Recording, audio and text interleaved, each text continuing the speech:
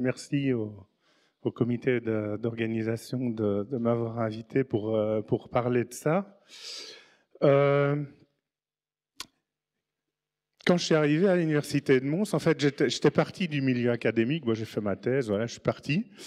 Euh, j'étais à l'Ifremer, Asti, CEFAS, enfin, à différents endroits où on fait, on fait de la recherche, mais plus d'enseignement du tout.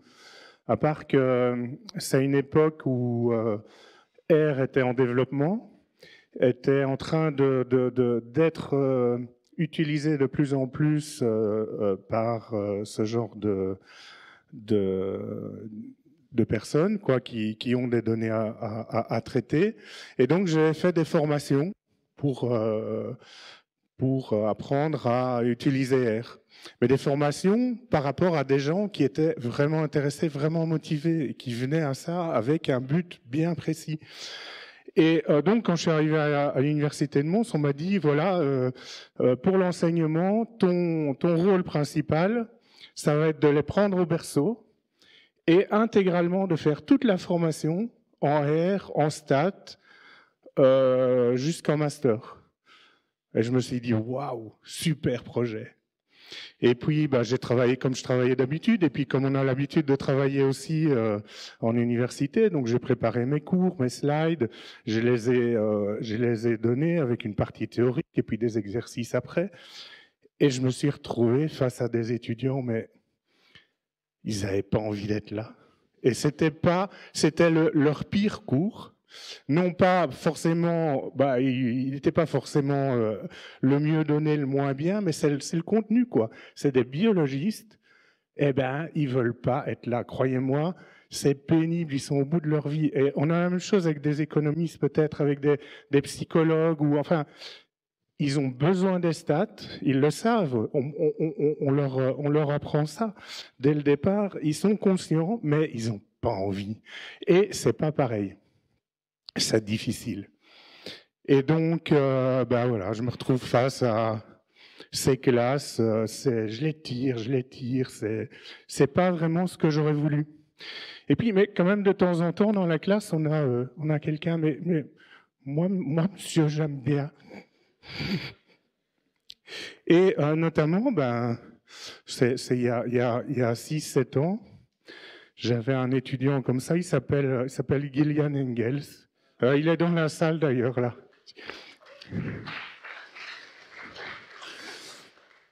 Et, il m'a dit, euh, ben moi, j'aimerais bien être votre assistant pour, euh, pour vous, vous aider là-dedans et pour donner la partie exercice. Et, il, est, il, est super diplomate. Parce qu'il aurait pu me dire, Monsieur Grosjean, il y a un problème. Votre cours est à chier. Il n'a pas dit ça. Il a dit euh, je m'intéresse à, la pédagogie, les nouvelles techniques. De... Est-ce qu'on pourrait pas euh, ajouter, changer un petit truc ou l'autre? Et alors j'ai dit bon, on, va voir, on va aller voir notre service d'appui pédagogique euh, qui gère ça. Et là ils nous ont parlé de trucs, ne comprenais rien, je connaissais même pas les termes, classe inversée, évaluation continue, tous ces trucs là. Euh, et, du coup, je, me suis documenté, on a bien réfléchi. Et à un moment, j'ai dit, euh, j'ai dit à Gillian, j'ai dit, écoute, euh, on va le faire, mais on va le faire bien. On part d'une page, d'une page blanche. Moi, mes PowerPoint, je les mets à la poubelle. On recommence tout. C'était la bonne décision parce que la classe inversée, alors ça, je, je vous le dis tout net, c'est pas enregistrez votre cours avec vos PowerPoint tels que vous le donnez d'habitude, vous donnez ça aux étudiants et vous dites, euh, voilà, vous étudiez ça chez vous et après, c'est bon, on fait les exercices, ça marche pas du tout comme ça. Il faut vraiment tout revoir euh, de fond en comble. Donc on a fait ça, c'est un travail, ça fait déjà six ans qu'on travaille euh, là-dessus. On commence à avoir des bons résultats, mais, et ça va être le sujet ici de, de, de la présentation, entre autres, euh, entre la théorie et la pratique, il y a un monde de différence et il y a une série de petites astuces à mettre en œuvre pour faire que ça marche. Mais quand on arrive à mettre en œuvre ces astuces, c'est génial. Euh, non, j'ai pas, non, j'ai pas des étudiants qui sont follement intéressés par le cours. Ça, ça n'a pas fondamentalement changé.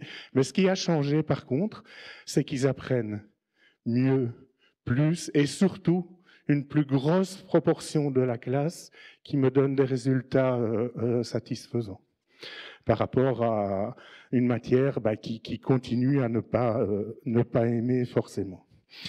Alors, donc, le point de départ, c'est un cours en ligne, mais qui est réécrit de, de, de, la façon, d'une certaine façon, qui permet à l'étudiant d'étudier un maximum par lui-même avant les séances en présentiel, et les séances en présentiel qui servent quasi exclusivement à faire des exercices pratiques, parce que c'est ça qu'on veut. On veut former des gens qui soient capables d'analyser des données. On ne veut pas former des théoriciens qui vont inventer la nouvelle technique stat euh, révolutionnaire.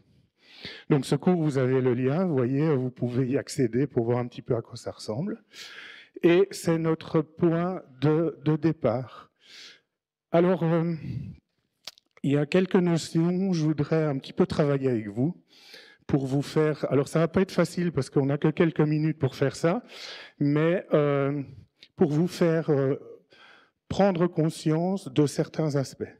Alors, je sais pas, certains d'entre vous connaissez peut-être le WooClap, d'autres vous allez le, le, découvrir. Je vais vous demander ceux qui l'ont éteint d'allumer votre ordi ou de prendre un smartphone ou une tablette euh, et de vous connecter sur wooklap.com avec le petit code là que vous, ou alors vous scannez le, QR code bien sûr, le code RR 2024 et on va euh, tous ensemble répondre à trois questions qui vont vous mettre en évidence euh, certains points. Alors pendant que vous vous connectez, ça va aller très vite parce que j'ai mis un timing volontairement assez, assez restreint. Vous aurez 30 secondes pour répondre à la question. Vous avez une question, vous avez plusieurs choix, vous allez répondre à, choisir un seul item et surtout en bas, il y a un bouton Validate. Vous devez cliquer ensuite sur Validate pour que votre, votre réponse soit prise, euh, soit prise en compte.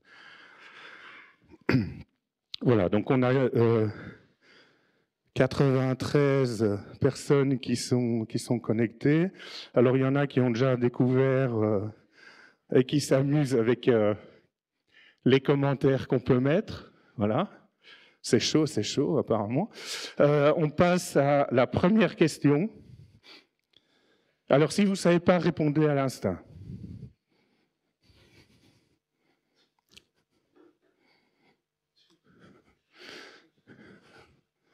Il y a Vincent qui se décompose, pas pourquoi.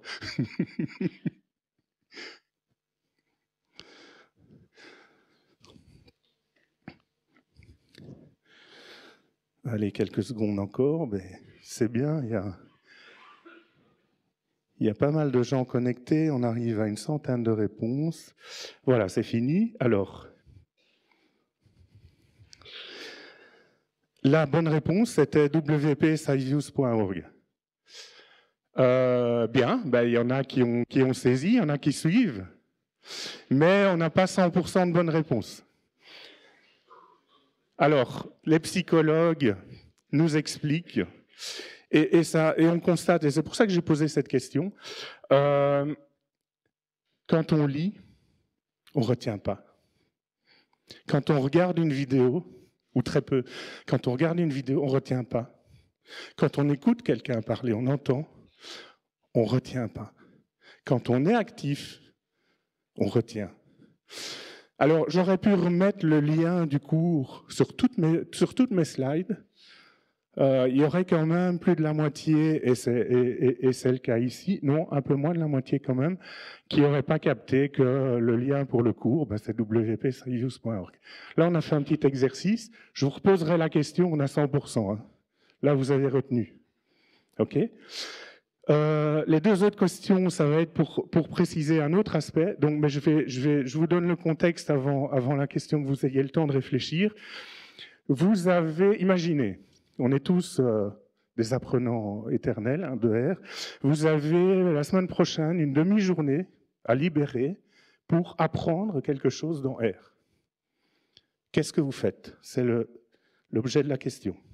30 secondes.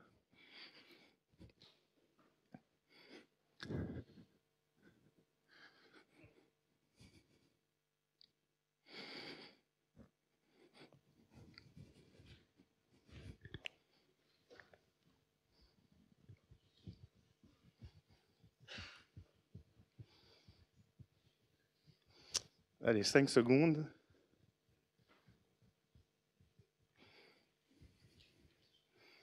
Voilà. Qu'est-ce que ça donne? Ah ouais, pas mal. Donc on a quand même près des deux tiers. Vous, ce qui vous tire, et c'est tout à fait compréhensible, vous avez un problème à résoudre, vous avez des données à analyser, ben c'est ça qui va vous tirer et qui va vous tirer vers l'apprentissage de R. OK. Euh, d'autres, euh, ben vous aimez bien euh, un petit tutoriel, une vidéo, un podcast. Ouais. Et il y a quand même cinq personnes dans la salle, chapeau, qui vont ouvrir le manuel An Introduction to R. Je ne sais pas si vous avez fait, mais c'est, il y a plein d'infos dedans, mais bon. Et pourquoi je vous ai mis cette question? Parce que aujourd'hui, le cours que j'avais écrit avant et que je donnais avant, les étudiants que j'avais dans ma salle, l'impression que ça leur donnait ce cours-là, c'est à vous l'impression que ça vous donne un introduction to art.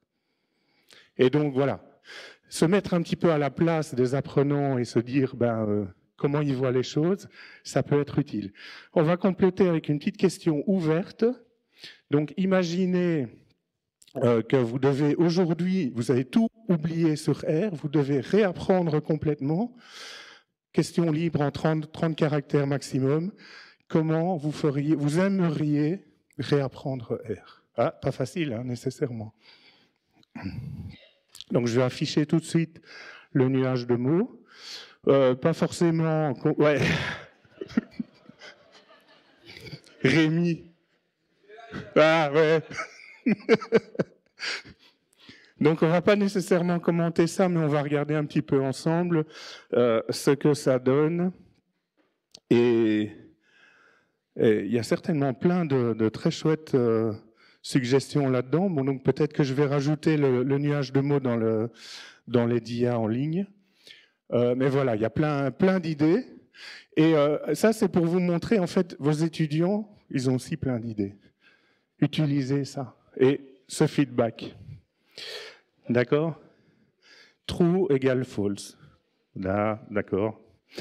Voilà, merci. Donc vous pouvez, euh, vous pouvez vous rendormir. Non, non, euh, il y, a, la suite.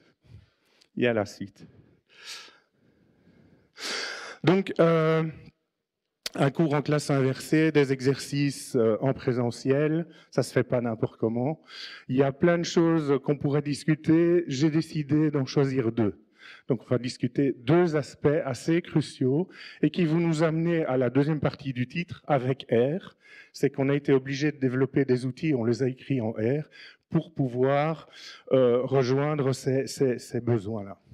Alors le premier aspect, c'est comment arriver à motiver et à capter l'attention et à faire en sorte que dans notre classe d'apprenants, euh, eh bien, quand même la majorité quand on leur donne des exercices à faire, ils les fassent. Tout simplement. Voilà. Ici, j'ai un exemple de cette année, donc un collègue en maths, euh, qui a des étudiants de, première licence. Donc, on a à peu près 380 étudiants dans la classe. C'est le trait rouge sur le graphique. Et euh, c'est un jeune euh, enseignant qui en veut il a fait plein de quiz sur Moodle, donc il a passé énormément de temps à ça, pour faire en sorte que les étudiants puissent s'améliorer par eux-mêmes encore, en plus des exercices qu'il y a euh, en, séance de TD, avant les examens. Donc il leur a fourni ces exercices le 15 décembre, comme vous pouvez voir, et l'examen, ben, c'est le 10 janvier. Alors évidemment, première chose qu'on constate, c'est que les étudiants ils font tout au dernier moment, mais ça va pas être trop. Oui, ça c'est une constante, hein, mais ça va pas être trop le sujet ici. Ce qui m'intéresse plus et qui me, qui me, qui me chagrine plus, c'est euh, la position des points sur l'axe des ordonnées.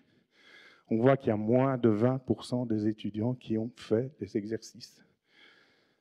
Vous passez des heures à créer des exercices et il y a un quart de la classe ou un, cinquième de la classe qui, qui les fait, et c'est pas n'importe qui, c'est vos meilleurs étudiants. À la limite, ils n'ont pas besoin de ces exercices supplémentaires pour réussir cela. C'est démoralisant. Est-ce qu'il y a une solution à ça? Ben, On a expérimenté plusieurs choses. Il n'y a pas une solution. Je pense qu'il y a plusieurs choses qu'on peut mettre en place et qui vont aider. Et la première, certainement, c'est de, rendre ça plus ludique et euh, moins monotone en diversifiant les exercices. Alors là, on a été trouver un truc qui est sympa, qui s'appelle H5P, h5p.org pour le, le site, qui propose une cinquantaine de types différents d'exercices. Alors oui, il y a des QCM, oui, il y a, des vrais faux, mais il y a, des images cliquables, il y a ici comme l'exemple euh, des textes à trous euh, qu'on peut réutiliser pour, euh, faire écrire des petits bouts de code R, il y a, des associations ou des, ou tris à faire, telle étape avant telle autre et tout. Il y a 10 000 trucs. on peut même introduire des questions dans des vidéos. C'est super intéressant ça. Et donc, voilà, ça c'est pas mal.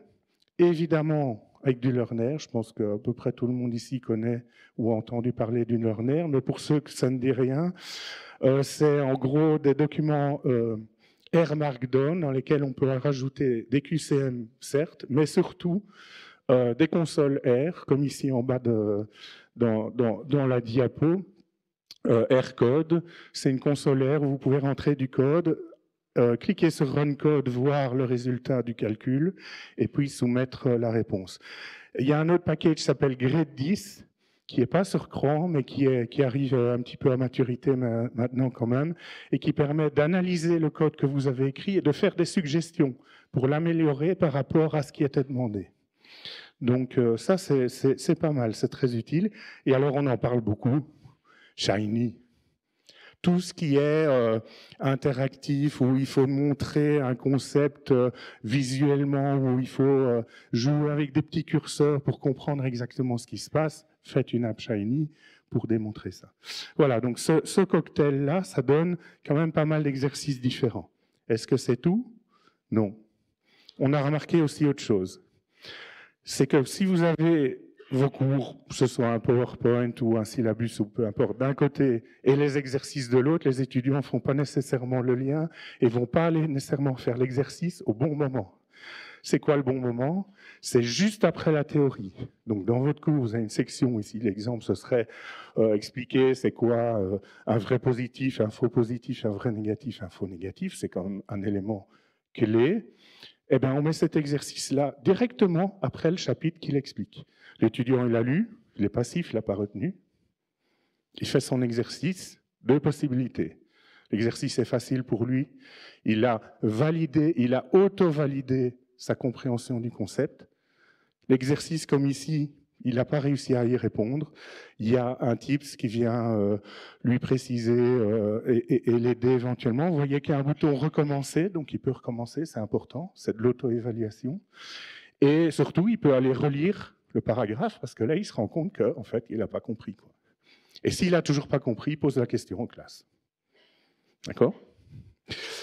Euh, Un autre truc qu'on a mis au point, ça, c'est les étudiants qui nous ont demandé, avec tous les exercices qu'on avait un peu partout, euh, c'est d'avoir en fait une table des matières des exercices à la fin. Donc chaque chapitre, on travaille une semaine, c'est un chapitre.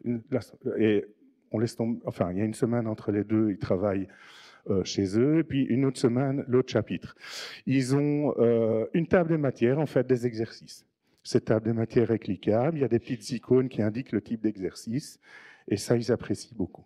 Donc, juste pour vous montrer dans le cours lui-même à quoi ça ressemble. Voilà, donc j'ai... Euh, il y a plusieurs cours, hein, donc ça va de licence 2, licence 3, master 1, master, master 2, et donc on, on, on décline l'apprentissage comme ça je vais dans le cours, je vais par exemple aller, vous voyez, chaque fois il y a un récapitulatif des exercices. Je vais aller cliquer sur un exercice H5P puisque c'est ce que vous connaissez probablement le moins. Et euh, je peux y répondre ici, voilà, bon, euh, c'est quoi une fonction qui permet de calculer la moyenne? Je sais pas, mutate. Ah non, c'est pas ça. Je peux recommencer, ainsi de suite. Et c'est dans le cours.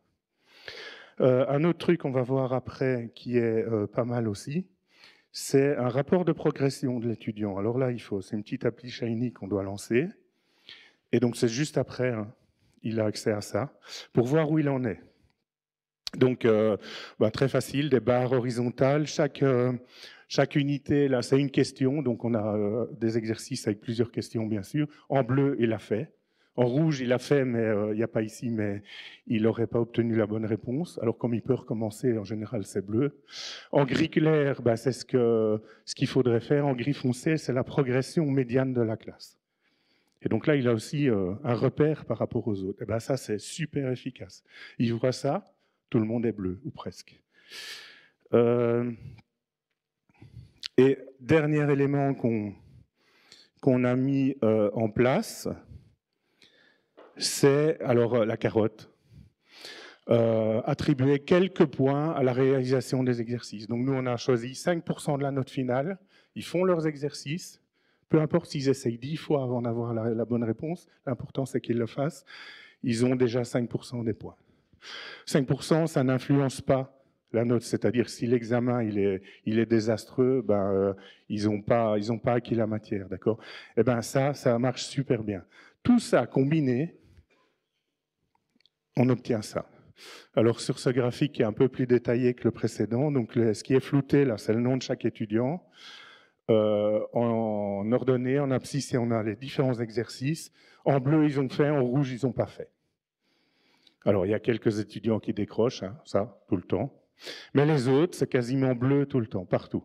Et on a plus de 90% de participation, on dit bien des exercices qu'ils doivent faire à domicile pour préparer. En principe, c'est pas des trucs certificatifs, etc. Donc voilà, avec quelques aménagements, on arrive à régler ce gros problème d'absentéisme. Ça marche. Second point, le problème de la progressivité de l'apprentissage. Alors, euh, il y a un truc euh, qui, est, qui est à garder esprit, à l'esprit tout le temps, c'est la, motivation de l'étudiant. Comment je motive l'étudiant? Pas toujours intuitif. Merci. La motivation, c'est euh, le succès mène à la motivation et non l'inverse. C'est encore une fois les psychologues qui nous ont montré ça. Donc il faut faire en sorte que quel que soit son niveau, quand l'étudiant il aborde la matière et qu'il tombe sur des exercices, ce soit un succès. Même les plus mauvais, il n'y a pas de mauvais étudiants, mais qui auraient le plus de difficultés. Et donc pour ça, on va décliner euh, les exercices en différents niveaux de difficultés croissantes. On a déjà vu, niveau 1, les plus simples, on a déjà vu du H5P, c'est des questions ultra facile. Mais il y en a qui auront des difficultés déjà là. Mais ils vont réussir. Premier succès, motivation pour aller plus loin. Learner, un peu plus difficile. Là, ils vont y arriver. Ils adorent les learners. Enfin, ça, c'est nos étudiants. Mais je peux vous dire, faites des learners. Ils adorent, ils en redemandent. Et à ce niveau-là, au niveau 2, ils ont, c'est, la partie, je ne veux pas dire théorique, mais la partie hein, qui prépare chez eux. Et après, on passe en classe et on leur donne des jeux de données. alors, on leur apprend à travailler dans GitHub. On utilise GitHub Classroom pour, euh, pour instancier les, différents projets des étudiants. Bon, OK. Et si on leur dit, voilà les données, vous avez vu la théorie, vous me faites un quarto, un rapport de l'analyse de ces données, euh, ça ne marche pas du tout. Il manque une étape. Ils ne savent pas comment mener leurs analyses, ils ne savent pas comment interpréter ce qu'ils observent. Et donc ça, c'est l'étape 3, où on a des projets, ils sont dans leur studio, ils font du quarto, mais ça va être guidé, cadré. On va les aider un maximum à faire leurs analyses, et on va même, vous allez voir, quand même en partie la faire à leur place, mais en leur donnant l'impression que c'est eux qui ont la main. Et puis une fois qu'ils ont ça, une fois qu'ils ont fait ça, ils sont en confiance, ils sont motivés. Et là, l'étape 4, et on fait ça un travail de groupe par deux, par quatre, c'est mieux. Euh, ils ont un jeu de données, éventuellement difficile à analyser, un jeu de données qu'ils choisissent eux-mêmes, et euh, ben, instruction minimale. Donc voilà, un petit projet GitHub. Ben, encore une fois, euh, je pense que c'est plus plus instructif d'aller voir ensemble ce que ça donne euh, dans RStudio. Donc l'étudiant, il a, il a son projet qui est créé, il a, il a fait un fork euh, sur son ordi ou sur le cloud. Enfin, on en discutait un petit peu euh, des solutions cloud euh, notamment pour l'enseignement. Donc il y a un petit readme qui explique bah, c'est quoi les données, qui fait un lien vers euh, une publi, euh, etc. Les objectifs d'apprentissage et les consignes. Hein, c'est pas c'est pas très long. En gros ici la consigne c'est aller voir dans le, le quarto Seaweed Notebook et aller remplir dans, dans, dans ce truc-là. Alors je vois, ok, il y a le gamel. Ah, on me demande mon, mon nom d'auteur. Donc moi je crois que je m'appelle Philippe.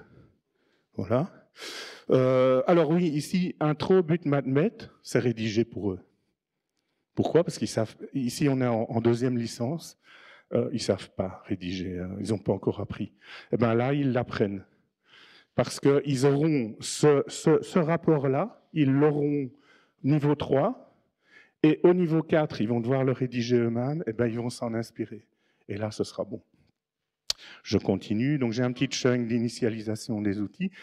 Et euh, voilà, le premier chunk, il est là. J'ai systématiquement un commentaire qui, explique en détail ce qu'on demande. Là, il faut importer les données. Alors, je vais compléter. Euh, voilà, un truc du genre. Alors, il suffit de, suivre l'instruction, hein, en fait. Euh, RDS à une main, c'est pas facile. Et on me demande de faire un, scheme pour décrire euh, mes données. Ok, je suis parti. Je fais, euh, je fais ça. Et puis je peux l'exécuter, bien sûr. Alors je l'avais déjà exécuté, donc on l'avait, mais voilà, j'ai mes tableaux. Je dois interpréter. J'ai décrit mes données, ben, il faut que, je, faut que je, commande tout ça. J'ai un graphique, il faut que je commente, oui. Euh, donc là, on ne les laisse pas tout seuls non plus. On a, un système où il y a des phrases, des phrases correctes, des phrases incorrectes. Ils doivent mettre une croix là où c'est correct. Euh, donc euh, le, détail de ce qu'il y a n'est pas important ici, c'est juste la façon de faire. Et donc ce truc-là, ça génère un bout de code euh, Markdown qui va s'insérer dans le rapport. Une fois qu'on a fait ça, on fait un rendu et on va avoir notre rapport qui se construit. Voilà, avec son intro, but, matmet. Euh, là, il a travaillé, l'étudiant quand même. Là, il a sélectionné des trucs, donc il a été actif et il, a vraiment l'impression d'avoir contribué à ça, même si c'est vraiment, vous voyez, extrêmement guidé. Mais surtout, il a un truc propre et il peut s'en inspirer après pour son projet de groupe. Progressivité. Euh, c'est pas tout, ça suffit pas. Donc, on est allé rajouter là-dessus euh, des tests avec test date. Donc il y a une batterie de tests qui va s'activer. Euh, oups, euh, c'est pas ça que je voulais faire. Je suis dans le visualisateur. construire tout, enfin build all. Hein. J'ai mis en français. C'est parce qu'avec les étudiants, ils aiment bien la version française.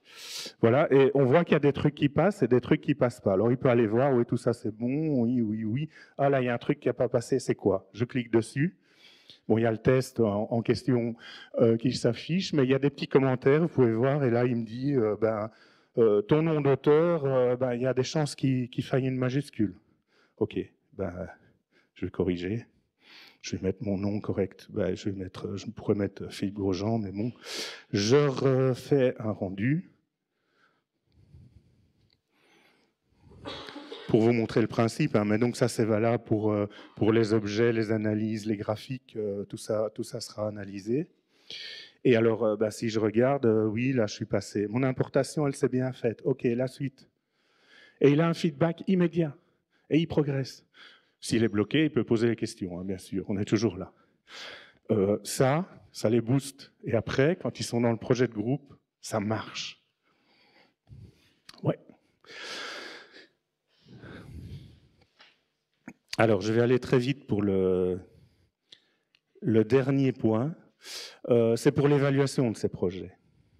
Pour l'évaluation de ces projets, là, on n'avait pas trop anticipé, je dois dire. Euh, ça, c'était euh, pas terrible de notre part, mais c'est que on a fait une grille critériée et donc on a un critère pour chaque chunk, un critère pour chaque euh, euh, interprétation. Alors au départ, il n'y avait pas les phrases, hein, donc ils devaient écrire eux-mêmes. Mais donc un projet, on a une quinzaine de chunks, ça fait 30 critères. Si on a 30 projets sur un cours, sur l'année, ben, fois 10, euh, sur 10, projets, ça fait x 10, et disons une centaine d'étudiants, ben, ça fait 30 000 cases à remplir. Waouh, c'est beaucoup. Euh, donc, ce qu'on a fait, c'est une, appli. Alors, encore une fois, très vite, euh, je vous montre en live à quoi ça ressemble. Donc, une appli pour faire ces corrections. On a un résumé où on voit où on en est. Alors, ici, il n'y a encore rien qui a été corrigé. Dans le travail individuel, ici, sur 7, il y en a 6 qui ont été corrigés. Il y en a un qui, il y a encore des choses à faire. On peut avoir euh, une vision par, de, la grille. Et donc, ce qui est en, gris foncé là, c'est ce qu'on doit remplir. Et il est allé découper, soit dans le Markdown, soit dans le HTML, les éléments pour les mettre sur la droite. Donc on doit faire un graphique. Il a été découpé le code que l'étudiant a rentré et le graphique qu'il a obtenu. Euh, on peut avoir aussi une vision par critère. Et donc si je prends un des graphiques, je vais prendre celui-là, je vois tous mes étudiants, hein, l'un à suite de l'autre, ce qu'ils ont fait. Et donc, je peux plus facilement euh, noter. Et alors, pour gagner du temps aussi, on réutilise TestDat et en fait, la grille, elle est pré-remplie. Donc quand l'étudiant il a obtenu le bon graphique, eh ben, il a la note maxi. S'il n'a pas obtenu le bon graphique, on peut avoir du code qui dit euh, oui, tel machin, euh, c'est pas grave, il a qu'un demi-point, ou tel truc, euh, c'est un problème, on lui met zéro. Évidemment, on va repasser dessus, mais, mais ça se pré-remplit. Voilà. Et donc, ces outils-là, ça nous aide à obtenir cette fameuse euh, progressivité dans l'apprentissage qui est indispensable. Alors on a essayé de travailler un maximum, vous voyez la, boîte du milieu avec des outils qui existent, mais on a dû créer du code, vous en doutez pour tout ça, et on est en train de euh, sortir ce code, le mettre dans des packages, le documenter pour que vous puissiez aussi euh, réutiliser tel aspect ou tel aspect de, ce qu'on a fait. Et euh, donc, c'est la plateforme Learniter, c'est une organisation GitHub Learniter, avec des packages comme Learnit-Done, Learnit-Progress, Learnit-Grid. Euh, voilà, merci. Et euh, les liens vers la plateforme, vers le cours qui est un exemple d'utilisation de cette plateforme et vers les liens.